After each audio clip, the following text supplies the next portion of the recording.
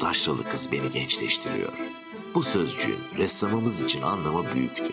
Henüz 26 yaşında bile değildi belki. Ama sanatta ve edebiyatta satın alınan baş döndürücü başarının da bir bedeli vardı.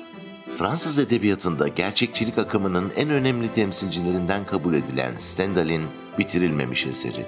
Yazarın ölümünden sonra 1854 yılında yayımlanan Feder ya da Para Göz Koca, Marsilyalı genç bir portre ressamının öyküsünü anlatır.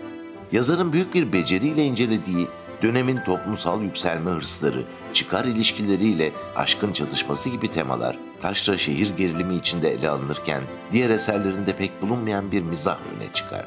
Stendhal'den ilk defa Türkçe'de okurlarla buluşan eseri. Feder ya da Para Göz Koca. Türkiye İş Bankası Kültür Yayınları'nda.